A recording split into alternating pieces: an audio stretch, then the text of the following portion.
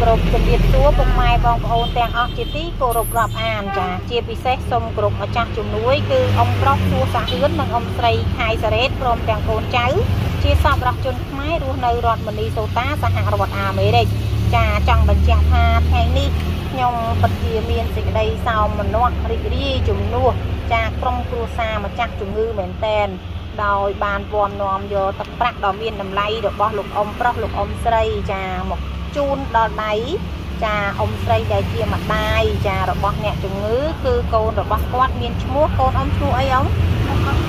ហងបុនធឿនចាឥឡូវមុននឹងយកទឹកប្រាក់ដ៏មានតម្លៃ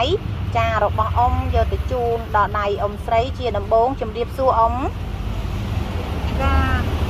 ជំរាបសួរអ៊ំចាចាហើយសុខសប្បាយទេអ៊ំអើយអ្នកគ្រូអើយមិនសូវសុខសប្បាយទេព្រោះមានទុកមានកូនមានជំងឺ ព្រោះពេលសុខសប្បាយមិនទៅទេខ្លួនឯងក៏គឺដែរ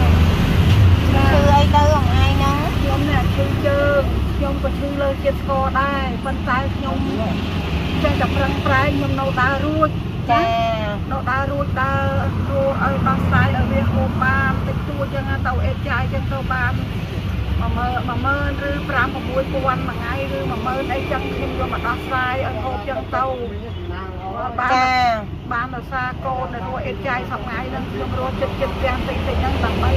ជួយដោះកូនកូនហ្នឹងហើយនៅចិត្តទៅឆ្ងាយមិនរួចដាក់ដៃចុះទៅណាអ៊ំណាចាចាអរគុណណាស់អ៊ំឈ្មោះអីទៅចាខ្ញុំឈ្មោះលុចវ៉ាន់លុចវ៉ាន់ណាអាយុប្រហែលហើយ73 73ណាអ៊ំមានកូនប្រហែលនាក់ខ្ញុំមានកូន3នាក់កូន3នាក់ប្រុសប្រហែលស្រីប្រហែលអ៊ំស្រីទាំងអង្គ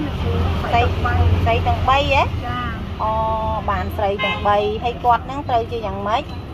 នេះជាជាចៅត្រូវជាចៅត្រូវជាកូនរបស់អ្នកណាគេកូនរបស់អ្នកជំងឺហ្នឹងចា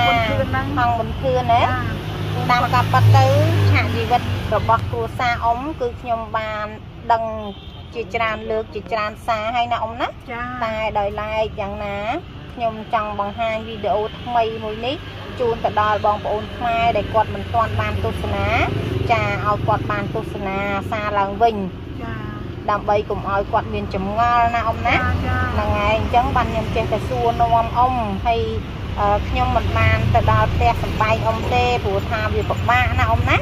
ព្រៀងមកអញ្ចឹងទៅមានទឹកមានអីចា ទឹកតផុកហ្នឹងហើយអញ្ចឹងក៏មិនបានទៅក៏អញ្ជើញអ៊ំមកនៅលើផាសស្អាប់ឬក៏តុកតុកនេះណាអ៊ំណាឲ្យអ៊ំមកទទួលទឹកប្រាក់ហើយវាមានសុវត្ថិភាពទៀតចាកាលណាអ៊ំទទួលទឹកប្រាក់ពីតាអ៊ំទទួលទឹកប្រាក់តាមរយៈយើងខ្ញុំនៅលើអាតុកតុកអញ្ចឹងវាមានសុវត្ថិភាពតែម្ដងណាអ៊ំណាហ្នឹងហើយហើយសុខភាពកូនអ៊ំឥឡូវមកចៃបងធឿនហ្នឹងឥឡូវហ្នឹង សើរើឥឡូវហ្នឹងបាច់ឆ្នាំក៏បានថ្ងៃហ្នឹងវាជាទៅធ្វើទុកដៃទុកយំថ្ងៃនេះអីចឹងទៅហូបអីមិនបានហ្នឹងចង់ឆ្លមកជួផលិតអត់បានឆ្លកូនគេអត់ប្រាប់ខ្ញុំខ្ញុំម្ល៉េះរើអេតចាយហ្នឹងរៀបថាដាក់យកអូទៅលោកថ្ងៃអាសៀលហ្នឹងឥឡូវហ្នឹងមីមីបងថាម៉ែអើយម៉ែឯងទុក សិនចាំខ្ញុំមកស្អែកអីស្អីចាំខ្ញុំលក់ឲ្យចាឯងអាចអូទៅទេម៉ែឯងចាស់ហើយខ្លាចដួលតាមផ្លូវចាអញ្ចឹងខ្ញុំក៏ឈប់រើទៅដល់មកវាជិលម៉ោងហើយហ្នឹងម៉ោង2 10ជាងហើយហ្នឹងធ្វើមិនធ្វើប្រឡឲ្យទាន់ចាវិញងាយចាំធ្វើឲ្យហ្នឹងហើយហើយគាត់ឃ្លានសឡំជូផលិតទេចាចូលចិត្តហូបតែសឡំមជូមជូហ៎ចាព្រោះអីវាជ្រះមាត់មនុស្សឈឺអញ្ចឹងណាអ៊ំ គ្នាឈឺគ្នាលេបអីមិនចូលទេបើជាតិជូជូតិចទៅគ្រាន់លេបបាយចូលណោះចាគ្រាន់លេបចូលហើយចុះការហូបចុករបស់គាត់មិនដែរគាត់ហូបបាយបានច្រើនទេបានមកមកចោលមកចោលមកវែងមកវែងតិចតិចហ្នឹងណាអូអញ្ចឹងគាត់ហូបបានអ៊ំហ៎ប៉ុន្តែហូបបានតែប្រហែលតិចក្អួតអស់គាត់ចេះតែក្អួតឡូវមួយថ្ងៃមួយថ្ងៃក្អួតរហូតព្រលឹមឡើងក្អួត ហើយដល់ពេលគាត់ថាគាត់ក្អួតចឹងគាត់ញាល់ទៅធើចឹងណាចាហើយដល់ពេលចឹងរੂអីរੂអីគាត់ហូបចឹងទៅគាត់ហូបបបរអត់បានតែគាត់ថាហូបបបររើខ្លាំងហ្មងឲ្យតែខ្ញុំទៅដល់នោះគឺខ្ញុំពិបាកចិត្តខ្ញុំឃើញគាត់ខ្ញុំអាណិតគាត់មែនតែនដល់ចឹងទៅមនុស្សធ្លាប់ដើរធ្លាប់អង្គុយធ្លាប់រੂធ្លាប់នេះដល់មកធ្លាក់ខ្លួនអញ្ចឹងណាមួយ ពេលម្ដងម្ដងគាត់ថាមិនក៏គាត់មិនងាប់ឲ្យផុតផុតទៅនៅរោងកម្មរោងទុកចឹងគាត់ពិបាកណាស់អឺហើយឥឡូវផ្ទះសំបែងអ៊ំដែលខ្ញុំឲ្យយកទៅធ្វើប៉ាំងកសីហ្នឹងប្រក់ហើយអស់នៅឥឡូវប្រក់ហើយហើយប្រក់ចិត្តហើយអ្នកគ្រូប្រក់ចិត្តហើយឯណោះចាចិត្តហើយខ្ញុំមិនចេះកុហកទេចាតែប្រក់ខ្ញុំប្រក់ហើយឲ្យខ្ញុំធ្វើមិនថាខ្ញុំធ្វើអញ្ចឹងហើយខ្ញុំអត់ឲ្យខុសសម្ដីខ្ញុំទេអ្នកគ្រូចាហើយចុះអ្នកគ្រូអឺហើយ ផ្ទះសំបែងអ៊ំដែលជួលគេហ្នឹងឥឡូវមកឆៃគេគិតមកឆៃពេលប្រាំមុនគេថាគេគេលក់ដីនឹងហើយប៉ុន្តែគាត់នឹងថាគេលក់ទេណាចាថាចេះភ្លើងវាអស់ច្រើនច្រើនពេកថ្លៃជួលដី3ខែមិនទាន់រួមថ្លៃភ្លើងមួយខែផងចាអញ្ចឹងសូមថាសុខចិត្តចង់ការគេក៏ចង់ដែរយកទៅរត់ការភ្លើងមួយខែចុះណាចាហើយយកបាំងលូកទៅកូនអើយចាំខ្លួនឯងរស់តាមម៉ែរស់តាមទៅបាំងឲ្យគេបាន50000 60000មួយខែអញ្ចឹងទៅបាំងលូកទៅនិយាយមួយ រត់គេចឹងទៅដល់ហើយគេថាកុំរត់ការភ្លើងឲ្យអស់លុយទៅអីព្រោះគេលូកដីនឹងហើយមិនដឹងគេថ្ងៃណាគេឲ្យចេញណាអ្នកគ្រូណាអូអញ្ចឹងគេប្រាប់អញ្ចឹងមានយើងត្រៀមខ្លួនរួនអីទៀតខ្ញុំទៅសួរគេគេថារូបឯងចិត្តហ្នឹងដែរគេថាគេអត់ស្រួលទេព្រោះដីគេសង់ផ្ទះ ឥឡូវចាំមើលសើបរួមចាស់អាដីវាខាងជើងយកផ្ទះថ្មហ្នឹងណាពីជើងរោយើងនៅហ្នឹងអាគ្រូណាចាចាំសើបរួមចាស់គេមើលគេព្រមជួលទេបើគេជួលវិញខ្ញុំក៏ជួលទាំងហ្នឹងនៅតទៀតទៅចាហើយផ្ទះរត់ជួលថ្មីហ្នឹងផ្ទះថ្មផ្ទះឈើចារូបផ្ទះហ្នឹងមកធ្វើកន្លែងដីគេហ្នឹងវិញជួលដីគេអូជួលដីគេគេជួលឲ្យដែរចាំមើលមើលចាំជួលម្ចាស់គេហ្នឹងមើលគេឥឡូវបានជួលពីនៅនៅមិនទាន់បានជួបទេចាំមើលល្ងាចហ្នឹងទៅវិញខ្ញុំសួរអឺ ផ្ទះថ្មហ្នឹងមើលគេអាចស្គាល់ម្ចាស់អត់ទេហើយសួរទៅសួរមើលអ្នកណាស្គាល់ម្ចាស់បើមិនអញ្ចឹងទេទៅទៅសួរប្រធានភូមិប្រធានក្រុមគេទៅមិនដឹងណាចាហើយចុះអ៊ំឯងស្នាក់នៅហ្នឹងប្រហែលឆ្នាំហើយអាដីចាស់ហ្នឹងខ្ញុំមកនៅកន្លែងហ្នឹងតាំងពីយូរហើយតាំងពី79ចូលមកខ្ញុំចូលមករហូតហើយអ៊ំឯងជួលដីគេហ្នឹងនៅរហូតទៅខ្ញុំអត់ហ៊ានទៅចាប់ដីនៅរបស់គេខ្ញុំថារបស់គេខ្ញុំអត់ហ៊ានយកធ្វើផ្ទះនៅ អូយអ៊ំអីអ៊ំហើយអញ្ចឹងអ៊ំឯងចេះតែតាំងពី79មកអ៊ំឯងអត់មានរកកន្លែងណាមួយសំគួរសម្រាប់ធ្វើផ្ទះធ្វើសំបែងខ្លួនឯងរស់នៅជាមួយកូននេះអត់មានទេចិត្តជួលគេអញ្ចឹងរហូតទៅពីមុនខ្ញុំមិនកុហកទេខ្ញុំប្រាប់តាមត្រង់ខ្ញុំទៀងត្រង់ណាអ្នកគ្រូណាចាខ្ញុំរស់ដីហ្នឹងបានមួយកន្លែងដែរនៅបានស្រុកហ្នឹងខ្ញុំទិញទេអចាស់អស់អឺ500លុយខ្មែរ ចាដល់ហើយខ្ញុំធ្វើផ្ទះនៅហ្នឹងវាអត់មានបានធំដុំទេល្មមមកយើងនៅក្នុងពូគ្រួសារកូនចៅខ្ញុំហ្នឹងទេចាដល់គេដេញអញ្ចឹងទៅគេរុះរើគេឲ្យដីហ្នឹង4ម៉ែត្រ6ម៉ែត្របដោយ6ទាំង4ចាដល់ហើយថាលោកវានៅមិនបានទេនៅមិនកើតទេនៅកូនយើងក៏មានបញ្ហាគេទៅហៅណាអញ្ចឹងក៏លក់ដីហ្នឹងទៅគេពាក់លុយគេពីមុនមកគេកាត់យកខ្លះទៅគេឲ្យលុយមកទិញគួច ទុកគាត់ណាមើលជំងឺវាហ្នឹងអស់ទៅអ្នកគ្រូគ្មានអីទេហឹមហើយចុះកូនអ៊ំនឹងឈឺប្រហែលឆ្នាំហើយបងភឿននោះគឺតាំងពីហ្នឹងកើតមកនេះអូ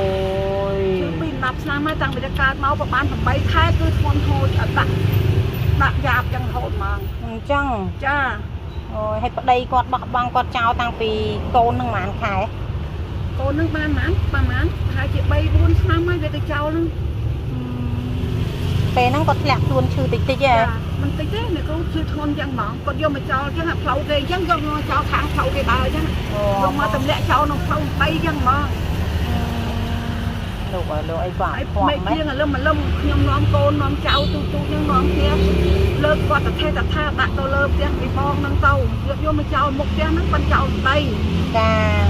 ដល់រួចទៅលើដាក់លើផ្ទះហ្នឹងទៅតាំងពីពេលហ្នឹងគេបាត់រហូតដល់រហូតថ្ងៃហ្នឹងទៅ គេមិនដែលឲ្យលុយឲ្យកាក់ឲ្យយើងគេមិនដែលនឹកនាអីកូនទេហ្នឹងហើយអូយលោកអើយលោកហើយឈ្មោះអីកូនចាឈ្មោះសុខៀងឈ្មោះសុខធៀងហ៎ហើយឆ្នាំហ្នឹងអាយុប៉ុន្មានកូនឯង12 12ហ៎ចាហើយអ៊ំស្រុកកំណើតអ៊ំនៅណាដែរនៅតកែវអ៊ំអ្នកតកែវហ៎ចាភូមិអីឃុំអីអ៊ំខ្ញុំនៅភូមិបន្ទាយស្រុកត្រាំង ភូមិបន្ទាយឃុំជាខ្មាស្រុកត្រាំងខេត្តតកែវហ្នឹងហើយអ៊ំមានកូនចៅទាំងអស់ហ្នឹងនៅជុំមួយអ៊ំទេរាល់ថ្ងៃចានៅជុំនៅជុំទាំងអស់គ្នាហ៎ចាចាហើយគេមានជួយមានអីអ៊ំឯងទេគ្នា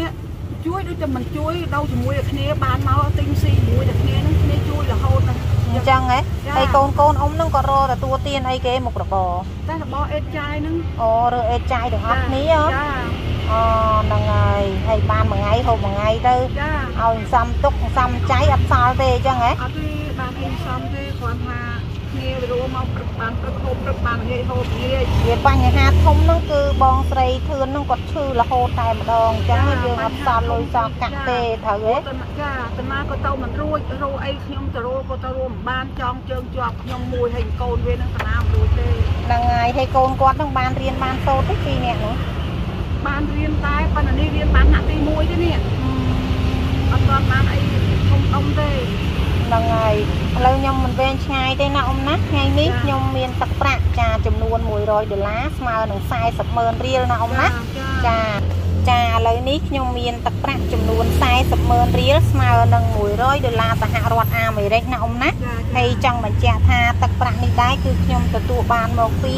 អ៊ំប្រុសសួរសាហឿននិងអ៊ំស្រីខៃសារ៉េតព្រមទាំងកូនចៅជាសប្បុរសជនខ្មែររស់នៅរដ្ឋមនីសូតាសហរដ្ឋអាមេរិកចាគាត់មើលឃើញជីវិតដ៏លំបាករបស់អ៊ំណាអ៊ំណាហើយអញ្ចឹងទៅគាត់អាណិតគាត់អាសូរអ៊ំគាត់ក៏ចង់ចំណាយទឹកប្រាក់ដ៏មានតម្លៃនេះយកមកជូនដល់ដៃអ៊ំដើម្បីចាទៅឲ្យកូនស្រីរបស់អ៊ំដែលមានឈ្មោះឈ្មោះអីកូនស្រីអ៊ំចាឈ្មោះហងបន្ទឿនហងបន្ទឿនអាយុប្រហែលហើយ គាត់អាយុ44ខ្ញុំដាក់តែ42ទេគ្រូគាត់អាយុ44មិនក៏ទៅដាក់42បើគាត់44 44ទៅខ្ញុំចេះដាក់តែ42ជាប់42 42រហូតអឺដឹងហើយហើយគាត់មានកូនចៅប្រហែលនាក់គាត់មានកូនចៅ5នាក់មានកូនចៅ5នាក់ណាអ៊ំណោះចាចាឥឡូវនេះទឹកប្រាក់របស់អ៊ំប្រុសសួរសាហឿននិងអ៊ំស្រីខៃសារ៉េតព្រមទាំងកូនចៅជាសប្បុរសជនខ្មែររស់នៅរដ្ឋមនីសូតាសហរដ្ឋអាមេរិក ចាគឺទឹកប្រាក់នោះចំនួនអឺ40ម៉ឺនរៀលស្មើនឹង100ដុល្លារណាអ៊ំណាអញ្ជើញទទួលចាអរចាគុណគ្រូហើយឥឡូវបន្ទាប់ពីទទួលបានទឹកប្រាក់នេះហើយតើអ៊ំមានពាក្យពេចន៍អ្វីដើម្បីជូនពរជ័យទៅដល់ម្ចាស់ជំនួយអ៊ំចាខ្ញុំមានពាក្យថ្លែងអំណរគុណដល់គាត់ដែលគាត់បានបរិច្ចាគ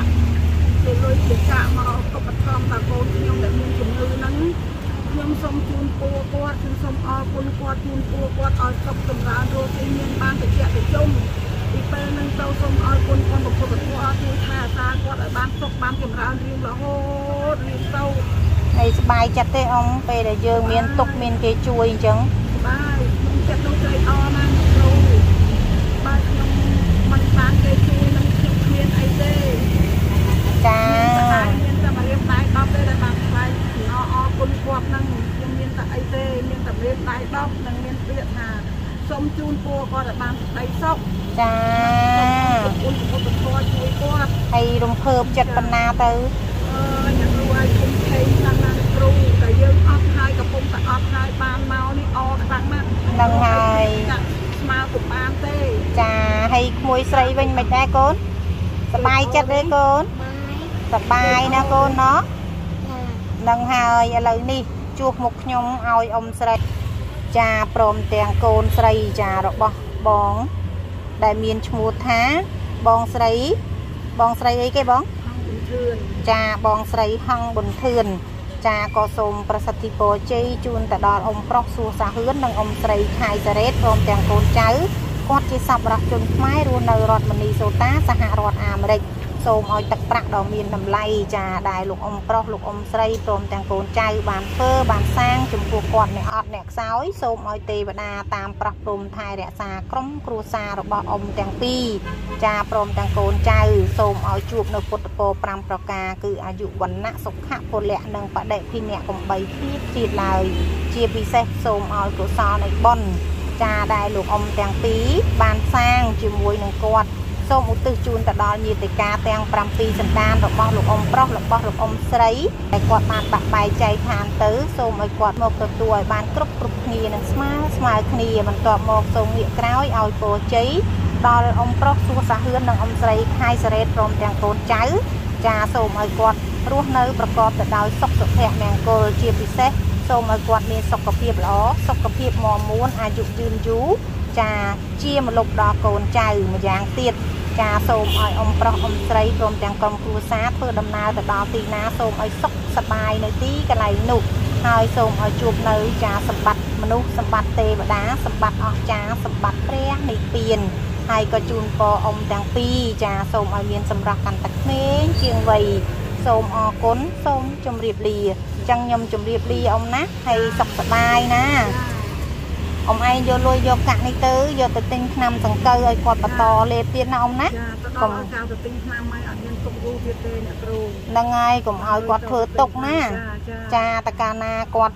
អឺដាច់ថ្នាំដាច់អីទៅគាត់ធ្វើទុកគាត់លំបាកចាមានតែគាត់ឈឺទេបានដឹង យើងអ្នកជាយើងមិនដឹងសុខទុក្ខគាត់យ៉ាងណាទេណាអ៊ំណាចាចាគាត់ឈឺគឺគាត់លំបាកមែនតែនអញ្ចឹងអ៊ំបានទឹកប្រាក់នេះហើយទៅទិញថ្នាំទិញសង្កូវណាអ៊ំណាចាយកទៅឲ្យគាត់ពិសាទៅក្រែងលោបានរស់មួយថ្ងៃមួយថ្ងៃដែរអ៊ំអើយអ៊ំអញ្ចឹងអរគុណណាស់ណាអ៊ំណាចាជំរាបលាហើយណាចាសុខសប្បាយហ្នឹងហើយចាខ្ញុំទៅសិនហើយ